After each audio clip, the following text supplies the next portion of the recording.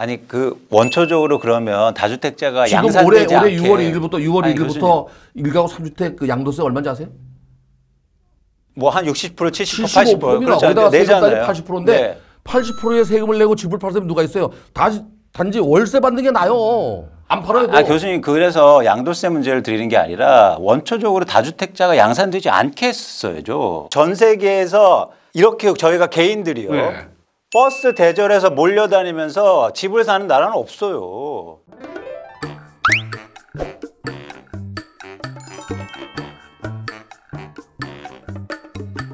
이제 오세훈 시장이 당선되면서 이 결국은 지방선거에 재보궐 선거에서 집권 여당이 참패를 하지 않았습니까? 그래서 이제 집권 여당 내부에서도 종부세 완화론, 대출 규제 완화론 뭐 나왔다가 지금 여러 그 지금 논란이 있습니다. 아무래도 이번 선거를 경험하면서 예, 종부세 대상이 9억 이상인데 그 12억 이상으로 조정될 가능성이 굉장히 높아진 것 같은데 이 보유세 조정에 대해서는 입장이 어떠신지 좀 듣고 싶습니다. 서울의 중위권 평균 가격이 이미 11억이 넘었고요. 아까도 제가 말씀드린 대로 이번 정부 들어와서 서울의 평균 주택 가격 상승률이 65.5%. 그런데도 불구하고 고가 주택 기준이 9억이다. 이건 좀더 어, 좀 현실적이지 못하다는 생각이 들어요. 어, 이게 그 부자세로 만들었던 세금인데 이게 보통세 일반세로 넘어가고 있어요. 저는 개인적으로 뭐 그런 주택을 갖고 있지도 않지만 어, 부자세란 부자에게 물리는 그 세금인데 자본이득이 늘어났다고 소득이 늘어나는 건 아니에요. 일가구 1주택자 같은 경우도 어, 10억짜리 20억 됐다고 소득이 늘어나서 잘 사는 건 아닙니다. 이 자본이득에 대해서 과하게 매기는 건 좀 불합리하지 않냐. 어떻게 생각하시는지. 그러니까 두 가지인데요. 하나는 뭐냐면 일단 그 기준 자체가 예를 들어서 아까 교수님 서울에 사시는 분 중에 40% 50%가 무주택자인데 무주택자가 보기에 9억 원의 아파트는요 엄청 비싼 거예요. 보통 이건 기준의 문제가 있는 거고요. 그건 사실은 제가 뭐 왈가불가할 수가 없습니다. 두 번째는 시장의 차원에서 접근할 때 시장에서 가장 우려되는 정책 방향은 정책 일관성이 없는 거죠. 근데 예를 들어서 종부세가 강화된 거는 사실은 올해부터 본격적으로 확 강화되는 거잖아요. 뭐 그 공시지가도 오르고. 근데 시행도 돼보기 전에 뭔가 또 바꾸려고 하면 정책 일관성이 없다는 거죠. 그렇기 때문에 시장의 불안감을 더 키울 수 있다. 그런 차원에서는 되게 조심해야 된다. 그러니까 한 번도 제대로 해보지도 않고 왜 자꾸 고치고 뭐 변화시키려고 이러는 거죠. 그래서 정책의 일관성이라는 게 안정성이 사실 굉장히 중요하다. 문제는 이제 그 정부에서 얘기하는 거는요. 공시가격 현실화율이 70.1%입니다. 이 현실화율을 매년 2% 정도씩 올렸다고 얘기를 해요. 이게 잘못된 거예요. 10억짜리일 때 현실화율 2%로 평가한 거와 이게 10억이 20억 됐을 때 현실화율 2%만 올려서 어, 현실화 시킨 거는 10억이라는 차이가 나요. 재산세가 올라가면 가계 소득이 줄어들어요. 가처분 소득이 낮아져서 오히려 어려워지거든요. 분명히 종합부동산세가 안 올린다고 했는데 불구하고 0.5에서 0.6으로 올랐습니다. 여기다 1가구 2주택은 내년부터 1.2% 올라갑니다. 최고세율 6.0% 올라가요. 소득이 있는 곳은 공평화가 필요하지만 자본이득에 대해서는 장기적으로 올려야 됩니다. 이게 그래야 아, 이 부의 평등이 이루어지는 거지.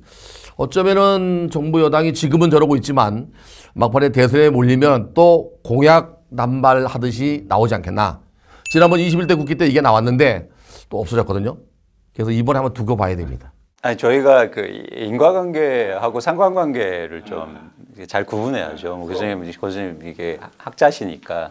근데 사실 종부세를 나는 비중이 그렇게 많지는 않아요. 내는 비중도 사실은 뭐 선거에 크게 영향을 미치고 그렇지 않다는 거죠. 근데 이제는 이거를 매치시켜서 종부세 올려서 마치 선거에 떨어 이거는 마치 상관관계 외국에서도 보면 찾아보니까 뭐 주택발 민주주의 위기라는 말이 나올 정도로 전 세계적으로 이 버블 논쟁이 벌어지는데 결국은 원인은 첫째 공급 부족이다. 두 번째 저금리와 과잉 유동성. 그렇죠. 뭐 세 번째 뭐 투기적 가수요. 뭐 이렇게 볼 수 있을 텐데 문제는 저금리와 과잉 유동성은 일개 국가가 통제할 수 없는 변수 아닙니까? 외국에서도 이렇게 쭉 보니까 결국 저금리와 과잉 유동성을 통제할 수 있다면 통제할 수 있는 변수가 뭐냐? 그럼 공급 문제는 통제를 할 수 있다. 국가가 정책을 어떻게 하느냐에 따라서. 그래서 결국은 어떤 나라든지 이거 공급 문제를 이제 가지고 이제 얘기를 하더라고요. 근데 이게 뭡니까 한국처럼 세제 바꾸고 막 세무조사하고 해서 집값 잡는 나라는 집값 잡겠다고 하는 나라는 어디냐? 없어요. 중국밖에 없습니다. 네, 없어요. 중국하고 비슷하고. 근데 제가 이제 얘기를 하고자 하는 거는 우리가 아무리 집값이 급하고 뭐 여러 가지가 있지만 그 선진국이고 그런데 중국과 같은 정책을 펼 수는 있- 없느냐. 그러니까 하자는 게 아니라 우리 사회의 주택 정책에 대한 목표, 방법, 수단에 대해서 한번 새롭게 검토를 해야 되는 거 아니냐라는 생각이 들더라고요. 근데 부동산 정책은 그 국가별로 굉장히 특수한 네, 환경이 네, 있기 때문에 사실 그렇게 비교하기 좀 힘든 네. 문제고요. 또 하나 뭐냐면 없다고 말씀드렸는데 예를 들어서 캐나다의 밴쿠버는 외국인들이 집을 살 때 취득세를 20% 냅니다. 아 그거는 그러니까 그러니까 그 이유가 뭘까요? 네. 외국인들이 와서 투자 수요 막 일어나니까 전 세계에서 이렇게 저희가 개인들이요. 네. 버스 대절해서 몰려다니면서 집을 사는 나라는 없어요. 개인이요. 투자 목적으로 한 채, 두 채, 열 채, 이십 채, 백 채 사는 사람이 없다고요. 어디가 있습니까? 그 과거의 얘기지. 지금도 있나요? 어디가요? 지금도 버스로 대절해서 그럼요. 지금도 임장 가고 뭐 그러잖아요. 뭐 카페에서 야, 이런 나라 어디 있습니까? 그- 그러면 어쩔 수 없다는 건 그러면 우리나라는 거기에 맞는 네. 맞는 규제가 필요한 거죠. 세제가 필요한 거고 왜 중국만 있냐면 중국도 비슷하기 때문이에요. 근데 어디 가서 어디 가서 개인이 막 뭐 성남에도 하나 사고 마포에서 반복 이러면서 전 그렇게 사질 않아서 알 수가 없지만 아니 얘기 드렸잖아요. 다주택자가 228만 명이고 매년 10만 명씩 늘어났습니다. 3주택자 이상이 얼마 15만 채를 막 사들여요. 이런 나라가 어디 있습니까? 그래서 이런 특수한 환경에 맞는 정책이 필요해. 지금 말씀하신 대로 다주택자가 늘어나는 걸 통제하는 건 당연히 통제해야 됩니다. 어, 통제하는데 세금으로 통제할 게 아니라 그걸 팔 수 있는 방법을 만들어줘야 돼요. 아니 그 원초적으로 그러면 다주택자가 지금 올해 올해 않게 6월 1일부터 6월 아니, 1일부터 일가구 3주택 그 양도세 얼마인지 아세요?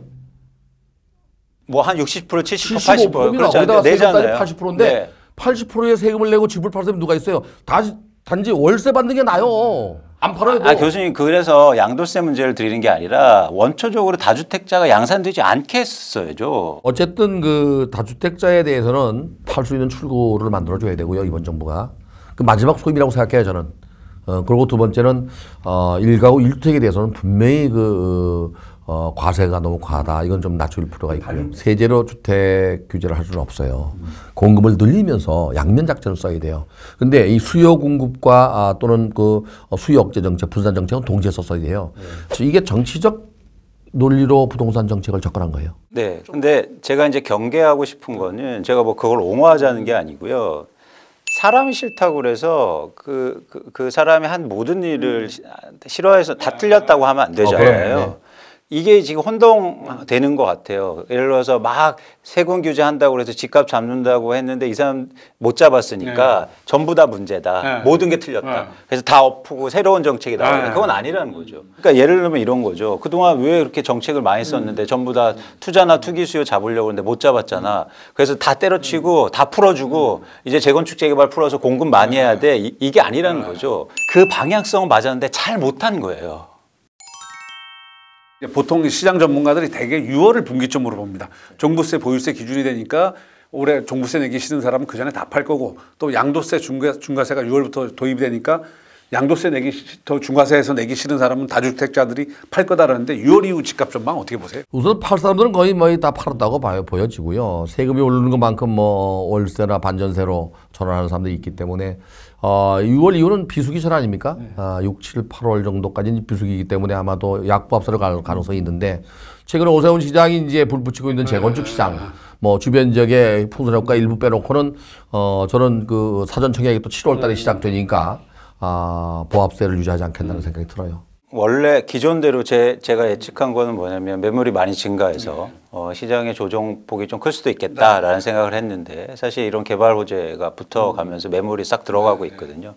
집값이 조정받으려면 내놓는 사람들이 집을 싸게 내놔야 되는데 거기다가 어, 그게 약간 지금 안, 작동이 안 되는 거죠. 그런데 근본적으로 지금 부동산 시장에서 수요자가 많지 않습니다. 네. 특히 투자, 투자 수요가 크게 감소했기 때문에 그래서 교수님 말씀대로 저의 예상도 사실은 집값이 크게 오르기도 되게 힘든 상황. 올해 하반기로 갈수록 안정된다는 생각이고요. 그러면 아주 열띠게 토론을 하셔 다른 의견인 줄 알았더니 6월 이후의 시장에 대해서는 비슷한 의견 거의 같은 뭐 의견이죠. 눈에 보이게 정부가 공급을 늘리고 또 눈에 보이게 현재 저금리지만 향후에 금리 올라갈 가능성도 없잖아 있고 여러 가지 상황들을 봤을 때 집값이 올라갈 수 있는 힘은 앞으로 1년 내 꺾일 확률은 거의 높다고 봐야 돼요. 네. 근데 뭐 저보다 이제 교수님 말씀하신 게 더 설득력이 있을 수 있는 게 왜냐하면 저는 계속 뭐 2년 동안 빠진다고 했는데 안 빠졌잖아요.